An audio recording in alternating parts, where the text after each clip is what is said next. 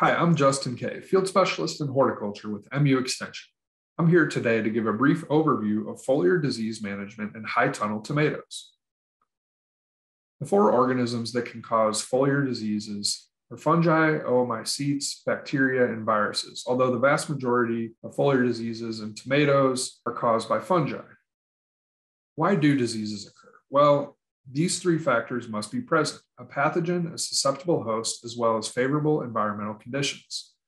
When these three factors converge, it gives the opportunity for a pathogen to infect the host and cause a disease. Three factors we might want to consider to prevent foliar diseases are host resistance, environmental modification, and sanitation and crop rotation. In terms of host resistance, there's been extensive breeding of tomatoes to breed for resistance to certain diseases. Cornell University has some great information on disease resistance in tomatoes that can be found in an Excel table format as well as a Word document format. This is broken down into slicer tomatoes, cherry tomatoes, plum tomatoes, and more. There's also information related to disease resistance in other vegetables as well. Although grafting has been shown to be effective to prevent root borne diseases like fusarium wilt, Grafting alone will not prevent the infection of foliar diseases of tomatoes. Another thing we might want to consider is modifying the environment. Fungi are common disease causing organisms of foliar diseases in tomatoes. Fungi require a certain amount of humidity, moisture, temperature, and time to reproduce and cause infection.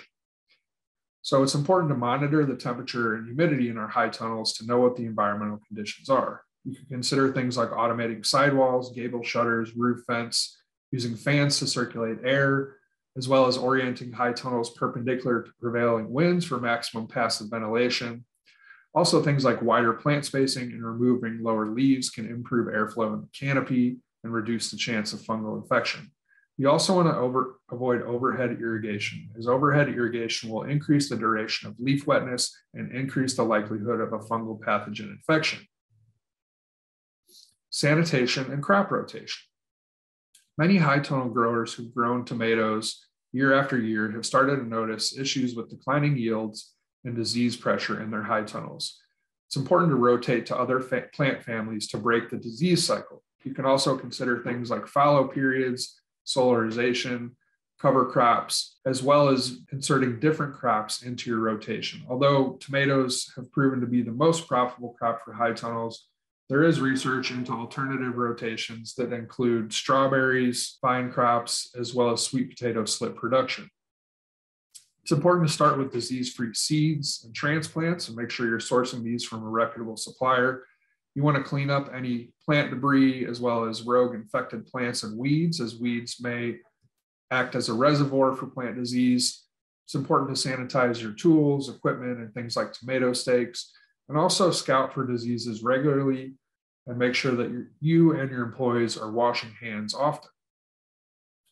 The four most common foliar diseases of tomatoes in Missouri are Passalora fulva, gray mold, septoria leaf spot, and early blight. These are all fungal pathogens.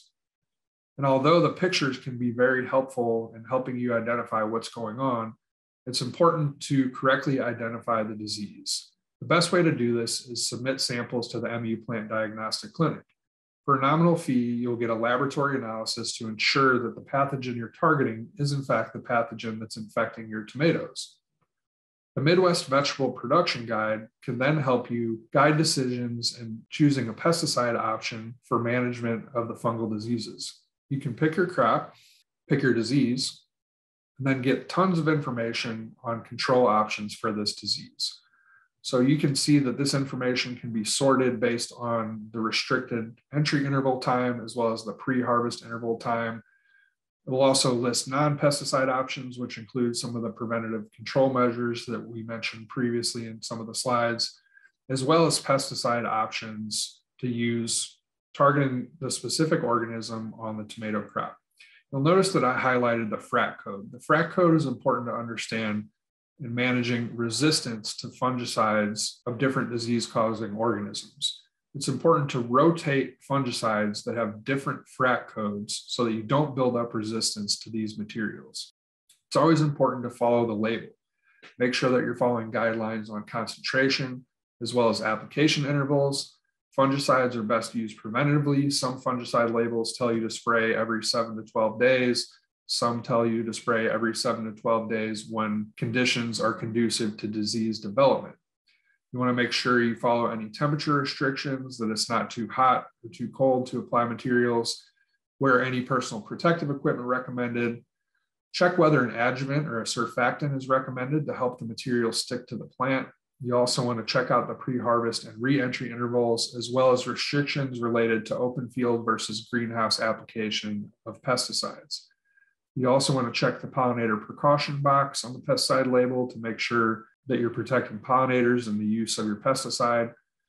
And then again, we want to rotate our active ingredients using those FRAC codes to manage resistance. There's some great resources that can help. We're going to include these in the description to the YouTube video. The MU Plant Diagnostic Clinic is a very helpful tool. NC State has some great information on foliar fungal disease management and high tunnel and greenhouse tomatoes. MU Extension has a great high tunnel tomato production guide. Cornell has that awesome disease resistance tomato variety guide. And then the Midwest Vegetable Production Guide is a go to resource for crop production information as well as pest management information. If you have any additional questions, feel free to reach out.